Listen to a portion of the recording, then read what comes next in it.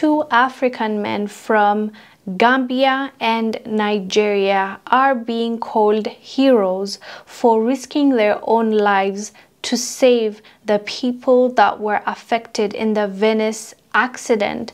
The bus lost control and flew off the bridge and fell into a train rail and so many people already lost their lives. It was a tourist bus.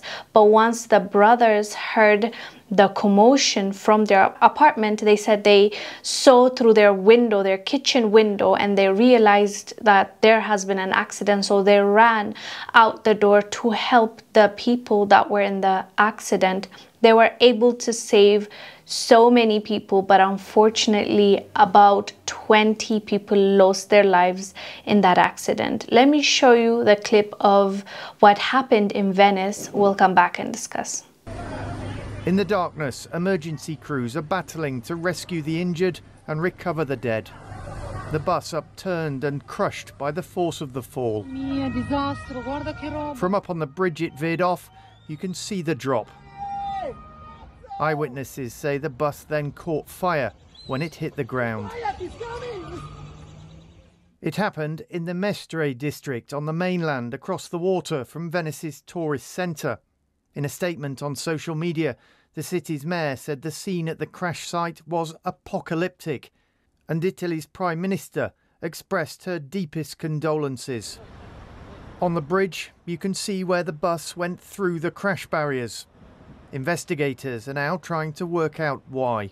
Odion Ibogbe and Boubakar Toure, who are from Gambia and Nigeria, quite literally risked their lives to help these people. And when they were asked why they did this and if they didn't fear for their lives because it was an exploding bus. There was fire, quite literally. The fire was so bad that the autopsies cannot find fingerprints on those that lost their lives. So they had to take DNA in order to know who is who. So when they were asked about their experience, he said, quote, I wasn't scared. I didn't think of my own safety because I saw people hurting.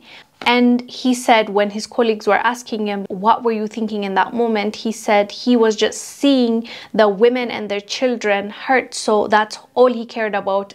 All he can think about is saving the women and children because he also said that he heard a woman screaming, My baby. So it was quite a traumatic accident, not just for the people that got hurt, but also this man because they were just in their kitchen chilling one second and the next they are trying to save lives and risking their own lives. They both said that they were not thinking about themselves, and this shows how selfless this men were and also you can understand why people were giving them the name heroes because they definitely were the heroes of that night. Anyways, fam, let us know down below what your thoughts are about this young man. I am Wongel Zelalem. I'll see you on the next one.